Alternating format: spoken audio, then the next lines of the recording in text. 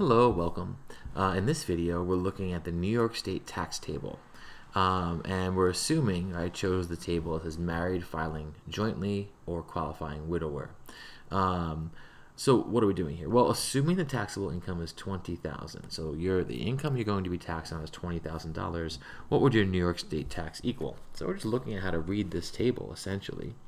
Here, if you take twenty thousand and go to your table, you realize it falls in this bracket because it says if line 38 is, it refers to a previous part of this form, over 17,150, but not over 23,600. So between those two numbers, that's where our number is. The tax is $686. So let's write this down.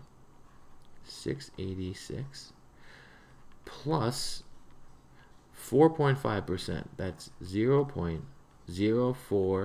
0.045 of the excess over. And all these quotation marks just repeat that statement of the excess over.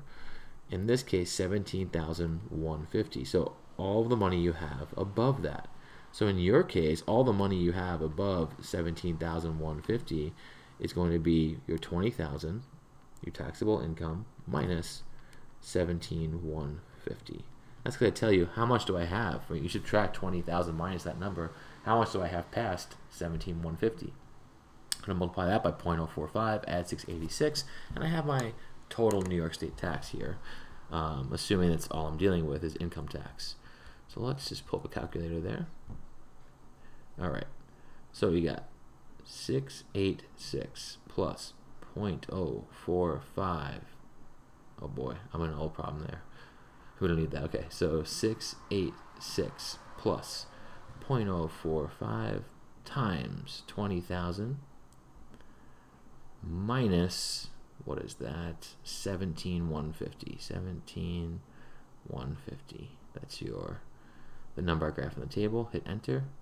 And we get $814 and um, 25 cents. So $814 and 25 cents now, I mean, in this table, as you go, go, further into it, you just fall into different brackets. So if you had $100,000 in taxable income, you'd fall in this bracket.